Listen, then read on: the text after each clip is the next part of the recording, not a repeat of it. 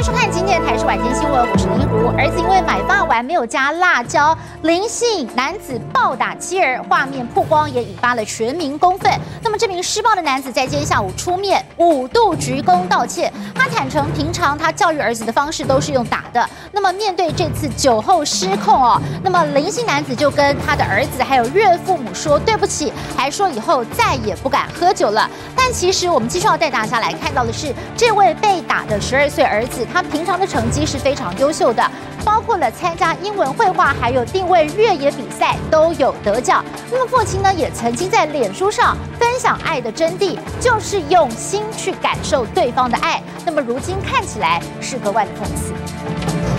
发生了一起轿车撞客运的车祸，轿车驾驶疑似是晃神，擦撞了中央分隔岛，失控翻车，还波及到了对向客运。那么所幸客运的司机及时刹车，车上有二十多名乘客全数平安。只是没有想到，这名肇事的驾驶竟然趁隙落跑，而警方则是在事故的现场找到了他丢弃的毒品。买房纠纷在高雄，有名戴姓男子去年底找了左营的一家房仲购物哦。那么原本跟卖方谈好是两百四十八万成交，但事后呢，对方在签约的当天却说，现在韩国瑜选上高雄市长了，那么之后呢，这个景气会变好，那么房价应该要上涨，所以呢，就地帮他涨价，从原本的两百四十八万变成了三百万，一口气涨了五十二万，那么让这个戴先生真的是非常的不满哦。那么最后呢，他要找对方沟通，却是多次。无效，最后他气的呢是带着榔头当场砸破了这个防中业者店面的玻璃，全程都被台视记者目击。男子的诈骗手法简直就像是电影《神鬼交锋》的翻版。新北市这名住在高级社区的富家子，平常游手好闲，没有工作，但是呢，却先后假冒了议员办公室主任、广告公司的主管，甚至呢是电视台的记者。不仅呢是到派出所骗吃骗喝，甚至呢还向直篮球队骗到了价值二十一万的球衣，背负了四条通缉罪嫌不到案。警方上门赶人，而他的父亲甚至还帮儿子当警察。新闻特别的计划，我们要带大家来看到的是，不少的爸妈都会骑机车载小孩，不过小心这种 NG 的载同方式可能会让你吃上罚单。有民众目击了一对新手爸妈在机车的脚踏板上放了一个婴儿推车，而离谱的是，坐在里头的儿童并没有戴安全帽，随着路面颠簸，这个孩子呢也是摇摇晃晃，看起来真的是险象环生。那么警方就表示了，像这样的违法行为会先口头劝导，如果屡劝不听的话，将会开罚。最近在网络上流传了一段中国大陆的实验影片，就是用洗衣机洗羽绒外套，结果洗衣机的上盖却被弹开。物理老师就说了，其实是因为羽绒外套太大件，如果用小型直立式洗衣机脱水，衣物容易瞬间位移产生气压，压力释放就会弹开上盖。那么专家就建议了，最好呢是在大容量或者是滚筒式洗衣机清洗羽绒外套，才能够洗得干净。新营乡的双龙瀑布一直是游客最爱的打卡热点之一。不过，连接山头的水管吊桥其实呢是当地居民维修时的通道，不供民众观光行走用。但是最近却出现了常常有游客为了一睹桥上风光，就这样冒险走上去。一整年下来，至少超过了两百起违规案件。当地的居民实在是忍无可忍了，落影 PO 网，要大家不要再拿安全开玩笑。且协助警方侦破了陈年旧案。就在二零一六年的时候，竹北有一名邱姓嫌犯在槟榔摊偷窃，因为现场呢留下了指纹跟血迹，被警方逮个正着。不过经过警方追查，他的 DNA 竟然呢跟十几年前同样发生在新竹的一起这个性侵案哦，这个范闲的 DNA 是完全吻合的。当时这名嫌犯持刀对一名十六岁的少女性侵得逞，还当场劫走了七千块钱的现金。如今一滴血让真相大白。也让人见识到了，真的是法网恢恢，疏而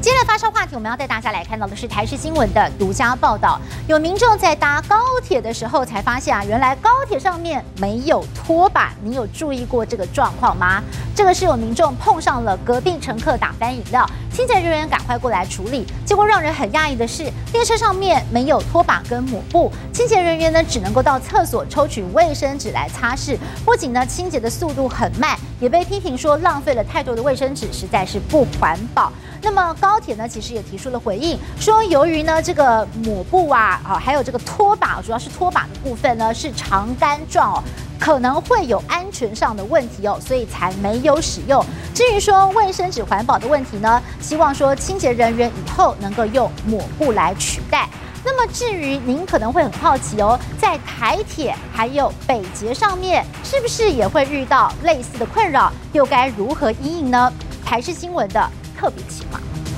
今天呢，您不能不知道，我们要带大家来看到的是，今年是暖冬，那么玉山入冬到现在仍然没有降下初雪，气象局就预估了周三、周四东北季风来报道，如果气温跟水汽互相配合的情况之下。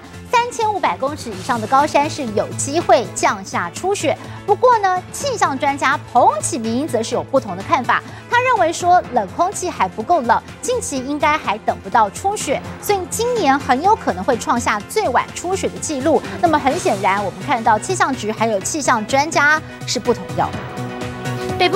治焦点，我们要带大家来看到的是新旧阁员交接，苏贞昌正式的接下阁魁的棒子，上午率领阁员在行政院内进行交接仪式，而卸下重担的赖清德在交接典礼上呢，可以说是一派轻松哦。他还开玩笑的说，现在能笑得比苏贞昌还要灿烂了。那么苏贞昌在致辞的时候也反馈赖清德，他在忙着找阁员的时候，赖清德还能轻轻松松的去看场电影，逗得。全场是哈哈大笑。不过在轻松之余，赖清德也把握机会，语重心长谈到了台湾的现况，更是抛出了宪改议题。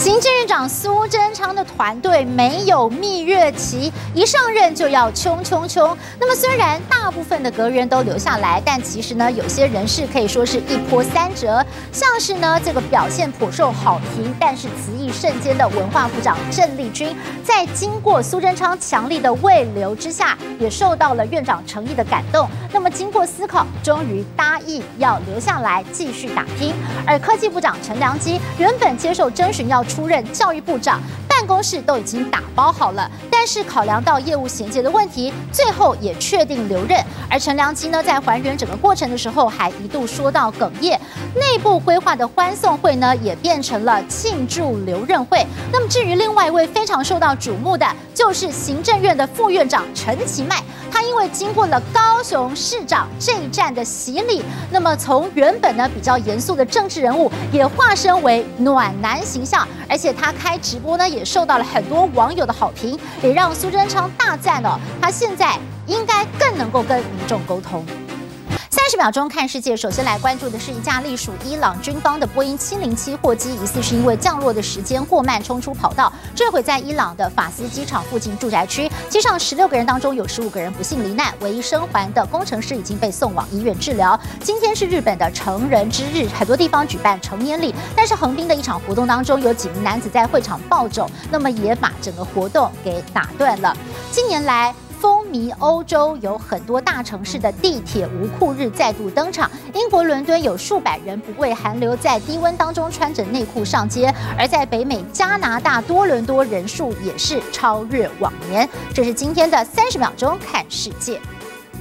台新闻看一集，我们要带大家来看到的是美国的航空安全金船大出包，一名妇人携带装有子弹的手枪，却能够顺利的登上飞机。这名妇人这个月初从亚特兰大机场搭飞机前往东京的成田机场，但是上了飞机之后才发现，他自己用来防身用的手枪根本就没有拿出来，立刻通知空服人员协助处理。而美国政府啊，关门已经进入第四个星期了，很多的安检人员领不到薪水。被迫无心上班，那么不少人就担心了，在这样的情况之下哦，影响找到他们工作的心情跟意愿，那么机场的维安可能会因此就出现了漏洞。